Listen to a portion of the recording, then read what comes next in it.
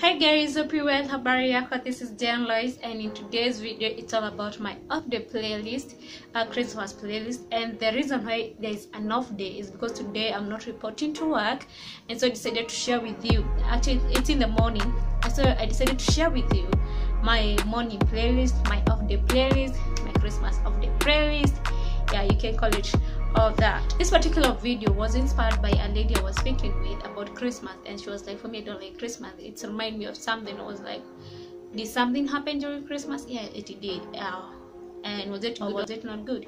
And she was like, "It was something terrible," and she she didn't even share the detail of the of the bad thing that happened during Christmas. Christmas season is being known for celebrating joy and all that, and there's this particular percent of people who wonder why do we even celebrate Christmas? Why do even Christmas have to come along? You know, because for them it's a memory that that they, they would rather forget. My prayer is 2020 Christmas is going to help you heal uh, from all the bad memories that has happened.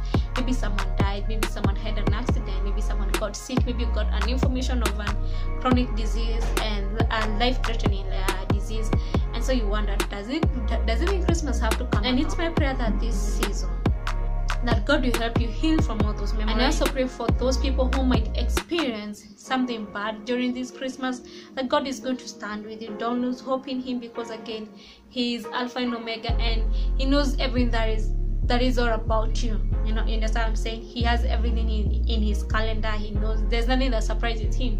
It, yeah it surprises us when it happens but to him it's not a surprise. That's why i just want to share with you uh just five songs maybe.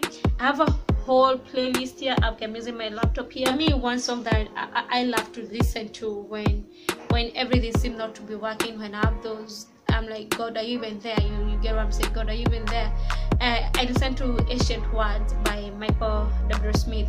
It's a song that, despite the beat itself, despite the flow itself, the wording in those, uh, the wording in that song remind me that Christ is true to His word. I would like us to talk about "Is My Heart Make My Heart Your Home" by Women of The Bible says that He is Emmanuel. He is with us, and for that, I would really love God to home in my heart, even when all those memories comes.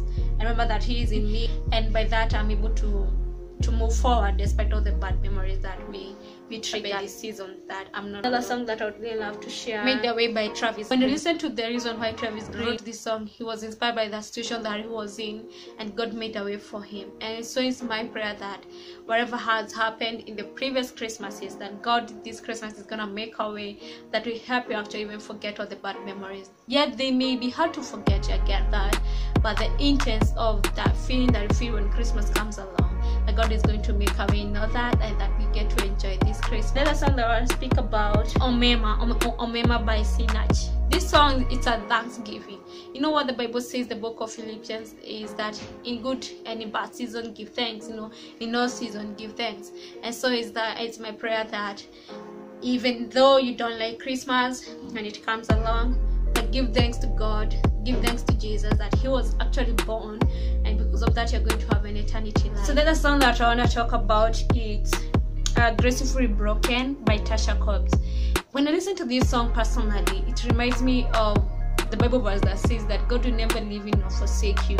You know, it's just been a rough year. People have lost their businesses, people have lost their jobs, people have gone out to street because they don't have a shelter, they couldn't keep up with the bills and all that.